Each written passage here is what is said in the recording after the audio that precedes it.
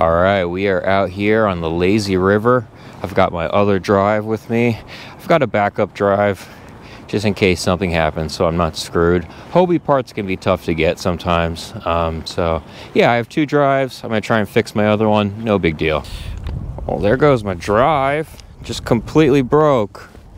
What the Yeah, we're out here.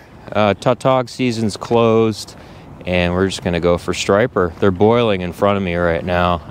So I think when I first got the kayak, I thought trolling was something, you know, it was new to me and it was fun. But since it's been about two years now, I kind of avoid trolling altogether, mostly for fun reasons. I find casting or, and retrieving to be just a little more fun and you can really dial in the fish. But I'll tell you what, sometimes the stripers will not be actively feeding. And trolling is a great way to keep your lure in the strike zone for much longer and it's also a great way to locate where the larger schools are. And then when that tide cycle flips or when they kind of go into more of an active feeding mode, you can, you know, dial them in, you know where they are. So trolling does have its advantages as some, you know, sometimes. Nice fish, man. Some really nice ones rolled in here. They're kind of all sitting in the same spot. I just rolled over them. Come on, bud.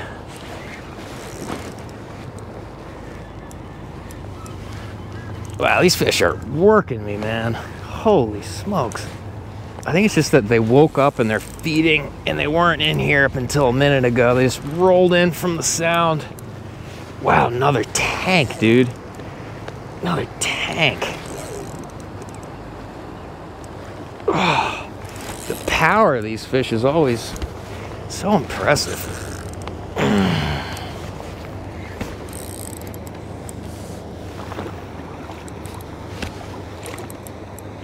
Come on, just get that leader. Got him. Got him. Wow, look at this fish. This thing is a tank. This thing is a tank. Oh, hook just popped out.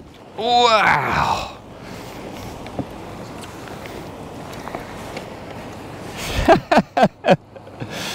Jeez. Holy smokes. What a tank. This fish is a tank. Jesus.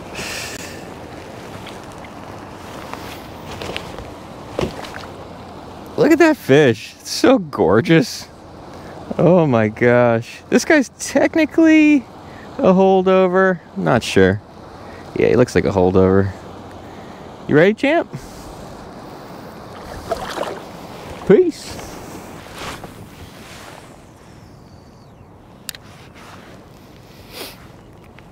Chick, chick, chick. There's a couple pretty decent fish in here. I just, they're not biting. I can't get them to bite.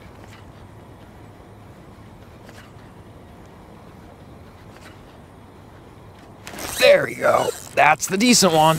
Whoa. Whoa.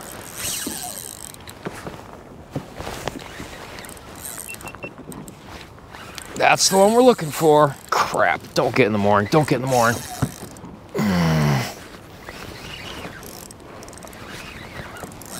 Get out of there. He's trying to wrap me up. Come on, bud. I see ya. Nice fish. Real nice fish. Those are the big marks I was seeing on the bottom. Real nice fish. Come on, bud. Oh boy. Oh boy.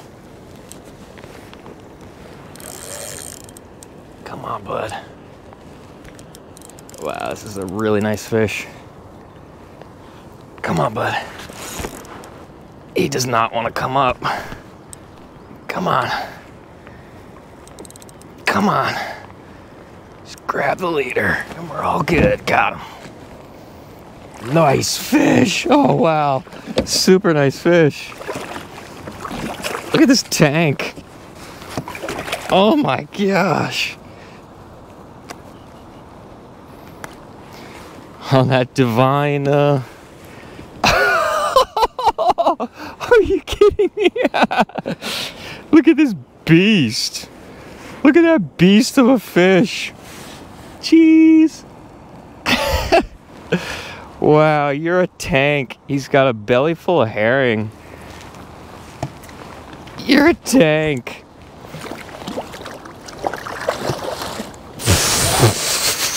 Latest Kata. Nice.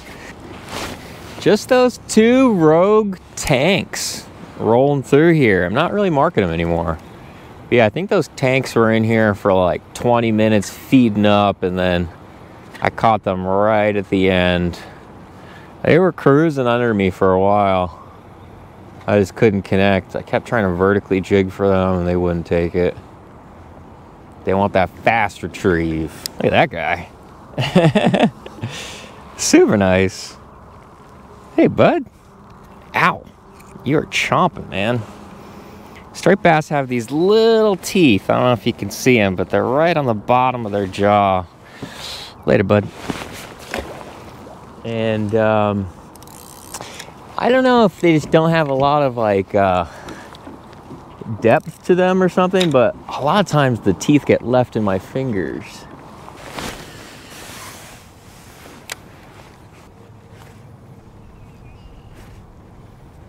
There he is. There he is. Finally got a decent hook set. There he is. Whoa.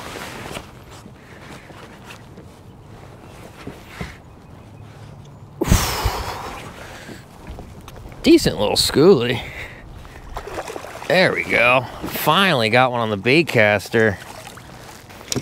Finally. Dirt. Gosh, I'm such a klutz. Yeah, I don't know. If anyone has any suggestions for the baitcaster, I'd love to hear them. I'm just not very good at it. I can't figure it out. Interesting. This guy's got a couple little parasites on him. Alright, champ. I'll see you later. I haven't used this drive in a while. It is Ecco the Dolphin.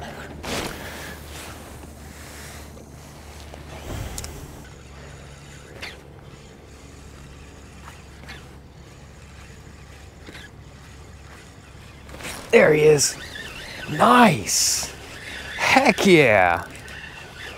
These are the fish I'm trying to catch. The ones out in the sound. These are the ones that you want to catch. See how much active they are? That was on that uh, pink and white Elias uh, V-Shad. First cast out here. It's the, uh, I think he called this one Easter Bunny. This camera's not rolling. Yeah, I think Elias called this one the Easter Bunny. I love rabbits. So, uh, but yeah, nice fish. Real nice fish. Later.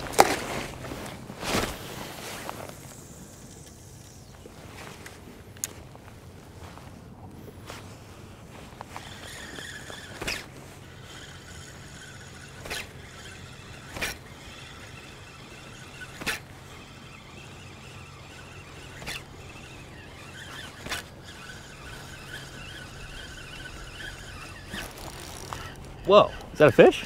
Oh yeah. Wow, he came out of nowhere. Grabbed it last minute. One of that pink panther.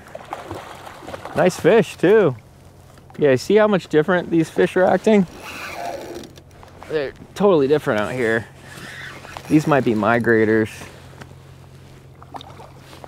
So you can see they're they're really not that big. But they're uh yeah, I know you wanted that Pink Panther, man. Wow, look at this guy. Look at his fin. It's like uh, going the opposite direction. There you go, bud. Your fin was stuck inside your uh, your gill plate. Yeah, these guys are. Uh, see two pieces of sea lice on him. Super cool. Have fun migrating, bud. Wow, that, that water's really, really cold. It's it's still, uh, I think 48, even in the shallows. Wow, it's very cold.